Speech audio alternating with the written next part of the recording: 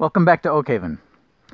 While this video is about how to mix up herbicides, I want to make it clear at the beginning that we are not encouraging the willy-nilly spread of uh, chemicals through the woodlands. Uh, actually, the whole point of this video is to how to mix is how to mix up these chemicals in a way that is useful but will minimize its impact on the environment.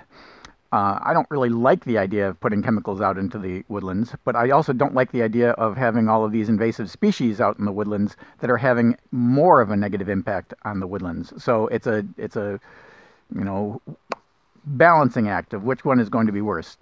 I'd also like to mention that when we are using herbicides in our woodlands, we are trying to use herbicides that don't have much soil activity any herbicide that gets into the soil is basically bound up and it is not killing things and not continuing to kill things. That's why we don't use pre-emergent herbicides. Uh, we use post-emergent herbicides that the plant has to be up and growing for the herbicide to work. It uh, we don't put herbicides down that have soil activity that will be killing things for a longer period of time. So we limit our herbicides to uh, a glyphosate product, triclopyr. This happens to be triclopyr 4 and the uh, fenoxaprop, uh, which is the active ingredient in Acclaim Extra that we use for uh, Japanese stiltgrass. Now, most of these chemicals you can buy in their ready-to-use or RTU form at the, the, at Lowe's or Home Depot or at a, a lawn and garden place. Uh, the problem with that is that they tend to be very expensive, where you can buy the the concentrated version and then you can dilute it to specifically what you need for whatever that that plant or that uh, season or whatever that application rate um, is that you want to use it for. Uh, it's it's much more economical and there is much more flexibility in how you're using it. Our goal again is to, to try to use as little chemical as possible uh, to put out into the environment, but still using enough chemical that we don't have to treat it a little bit this year and then it didn't get it all, so we have to treat a little bit next year and then a little bit the next year, and then we end up uh, treating it over a long period of time and we never really give the environment a chance to recuperate. Our goal is to get in there, get rid of the invasive, and let the uh, the land start to to um, to heal up. So we've had some comments on some of our videos where we've talked specifically about different species that we're not clear enough as to what we mean when we talk about a dilution. Like we say, we use a 20% glyphosate solution for cut stems, for honeysuckle, or for autumn olive. What do we mean by 20%? Do we mean 20% of some product, or do we mean 20% of the active ingredient? We almost always mean 20%, or I will say always mean 20% of the active ingredient. There's too many variations in um, concentrations that you can buy. Glyphosate you can buy in 41%, you can buy it in 15%, you can buy it in 4%, you can buy it in 2%. I'm not talking about percentage of a certain product. I'm talking about the active ingredient, the glyphosate. So we start with, for glyphosate, we start with a 41% concentrated solution. When, we're, when we need a 20% um, spray solution for using on cut stems, we'll take that and cut it in half.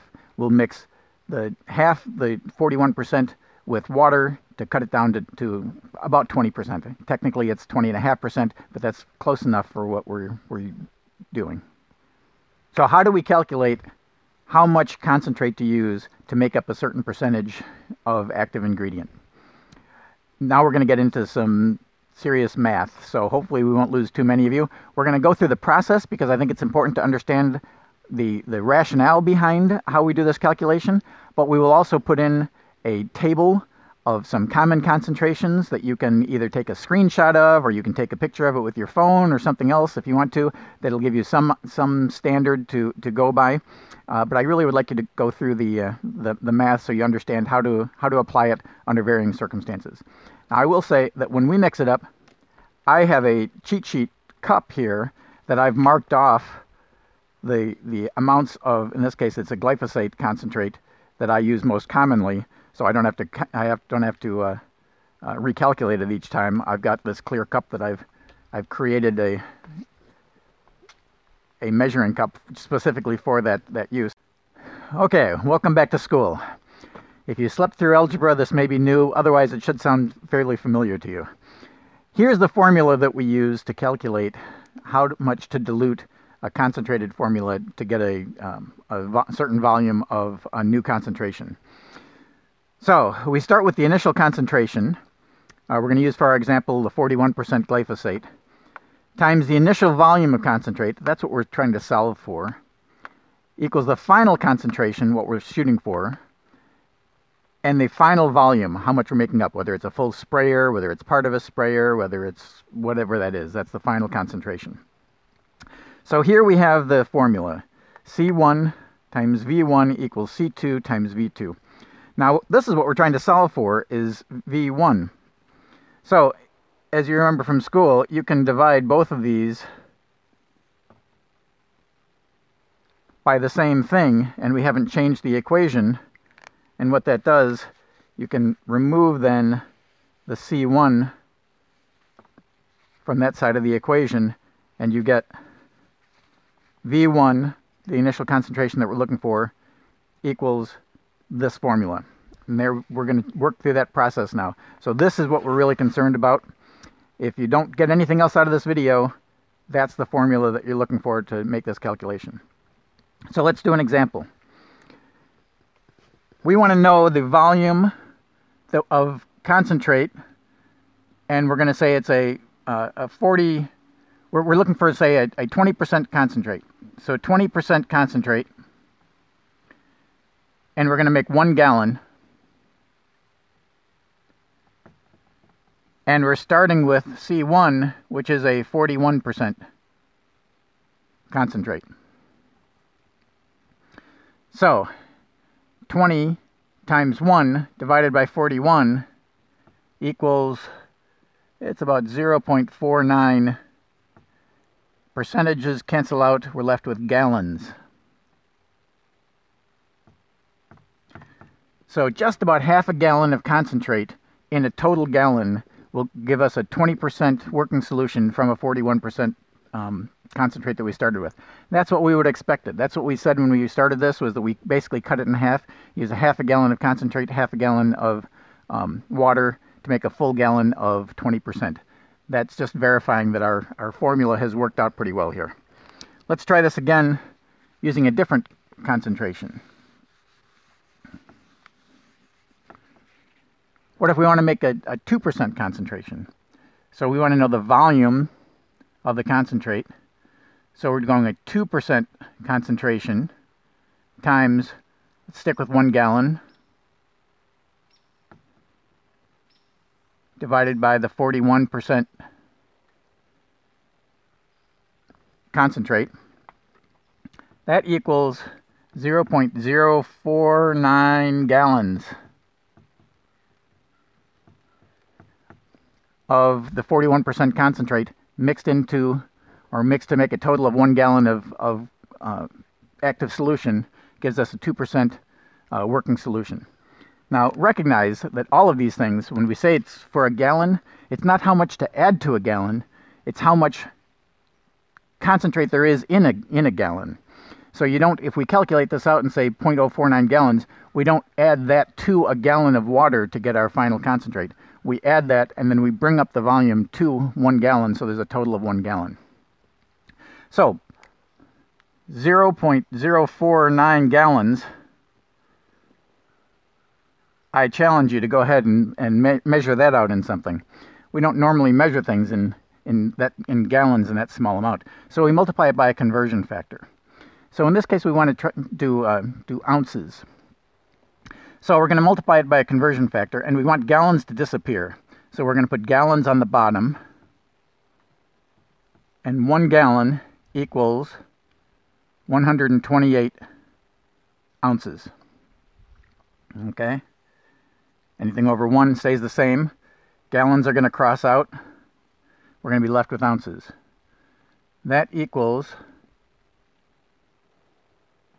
6.3 about ounces of 41% concentrate mixed into a gallon to make a 2% solution. There's the magic math. Okay, so Kimber has said to me that she doesn't like it in ounces. She would prefer to have it in milliliters. So we're going to do another calculation just for practice here to, to convert. Ready for this? To convert 6.3 ounces times a conversion factor, ounces to milliliters. So there's 29.6, is that right? Milliliters in an ounce. So ounces will cross out, and I'm going to do this on the calculator here. 6.3 times 29.6. So that equals 186 milliliters. So it depends on what kind of measuring cup you have, whether you want to measure it in milliliters, whether you want to measure it in ounces, ounces, or if you've got a special thing that you're measuring it in, in hundredths of a gallon. So I'm not going to actually mix it up. We're just going to talk about what we do. Um, our process when, if we're mixing up a full gallon, and you could change these calculations for a quart or for three gallons, for a backpack sprayer, for more, for less, whatever it is. Now you understand the math, you can do it your, on your own. Um, in the case of the, the 2% solution, we're going to take the glyphosate. I'm going to take my cup that I've already have marked off, 186 milliliters is right here. You could also use measuring cups or whatever it is that's best for you. If you're measuring it in ounces, you know, 6.3 ounces is, you know, two thirds of a of a cup if you were measuring it in a in a measuring cup.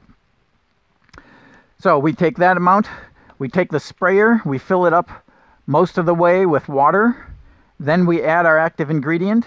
We add the active ingredient after the water as much as possible uh, because the active ingredient in a lot of these things tend to foam up uh, when you add water to them, and then it makes it really hard to measure the, the levels. And then sometimes it actually fills up the whole, if I'm making a whole gallon, uh, it'll foam up and I can't actually put all of the water into it. So we fill it up like three quarters of the way with, with water. We add the active ingredient. We add anything else that we're adding to it, like a, um, a colorant. Um, for colorant, we use um, laser red or laser blue with from Sanco Industries. Uh, the the label says to add a half an ounce per gallon. Uh, we put a little bit more than that in there because uh, a lot of times half an ounce is fine for viewing it just after you've sprayed it, but after it's dried, it's harder to see. So we put a full ounce of um, colorant in. And then depending on what the, the product is, you may need to add a surfactant. So a surfactant will be like a wetting agent for the herbicide. It will allow it to sheet over the leaf or whatever surface you're putting it on rather than beating up. If you don't have a surfactant in them and the leaf is has a little bit of um, waxiness to it, uh, it, tends to just beat up on there and it may just roll off and it won't get any active ingredient into the, the, the um, the leaf surface. So you add a surfactant. A lot of times glyphosate comes with a surfactant. This that we're using here, this Imitator Plus, has a surfactant already mixed into it. It's just a general surfactant. Surfactants tend to be um, fairly toxic, particularly in um, aquatic habitats. Um, a lot of the, the bad press that Roundup gets is not because Roundup is uh, a hazard, but because the surfactant that they add to Roundup is a is a hazard. So this probably has a very similar surfactant in it. Uh, it's fine for terrestrial areas, but if it gets into the water, it can be a problem. So if you're using a if you're mixing in a surfactant that you're going to be using in an aquatic area or where it may wash off into a stream, it's better to uh, to to, mix, to, to buy your glyphosate without a surfactant mixed into it. So buy something like Roundup Custom that doesn't have a surfactant in it and then add a surfactant to it. We've used uh, the surfactant Plexmate, which is an aquatic friendly herbicide or surfactant, so you can add that to a glyphosate product and then you can use it. We've used it for cattails. You can use it in a in a wetland uh, setting. So that's if you're going to buy the, the chemical, the active ingredient separately and add a surfactant. You can also buy, like this, the Shore Clear, is a glyphosate product, it already has an aquatic friendly surfactant mixed in with it. So you don't have to add the surfactant if you're using something like that. The Acclaim Extra that we use for Japanese stiltgrass needs a surfactant. Again, when it's just terrestrial, we just use this fairly inexpensive 20, um, 80-20 surfactant. Um, it's just any non-ionic surfactant works. Um, again, it's better if you keep it out of uh, an aquatic situation. If, if you're in an area where it's going to be along a stream, uh, it would be better to use a a more environmentally friendly surfactant.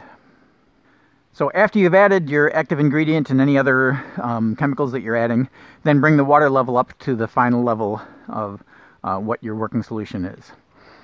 Obviously, if you don't have a level, you know, you're not doing it in a container that has a final level in it, you could calculate, oh, I was had a gallon, I've got half a gallon of uh, active ingredient, so then I can add a, a half gallon of water, or I've got 6.3 ounces of active ingredient. I need 122 ounces of water, and you could add that in, um, and it'll bring it up to the same volume.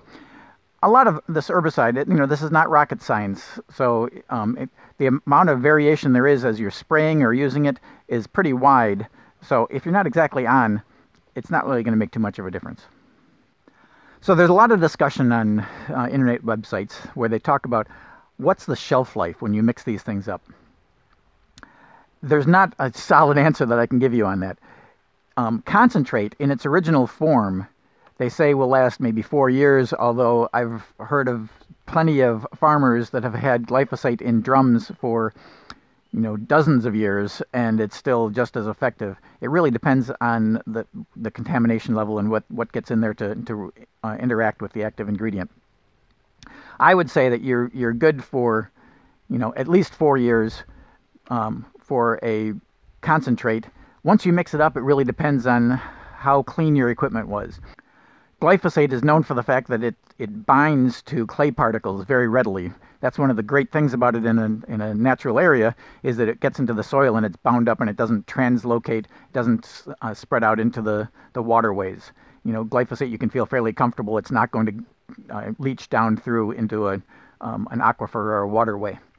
Um, that same fact, uh, fact, though, that it binds to clay means that if you mix it up with dirty water or your container is, is dirty and you mix up the glyphosate in that dirty container, a lot of the active ingredient will bind with that dirt that's in there and you'll start losing effectiveness almost immediately. So I would say, you know, best case scenario, mix up what you're going to use over a short period of time. You know, I use stuff that I've mixed up six months later and I've never noticed a, a decrease in effectiveness. So you're probably good for months, but you know, it's probably good practice to only mix up the amount that you're going to be using. So hopefully we've clarified some of the misconceptions about uh, how to mix up some of these chemicals and hopefully we've made it clear. And again, I will put in a chart that shows some of the most uh, commonly used uh, concentrations. Maybe we'll put that also in our in the, the description so you could just look at that if you don't want to watch a whole video on it. If this was useful to you, and you like learning about nature and this type of thing, please consider subscribing to the, the channel. We appreciate that.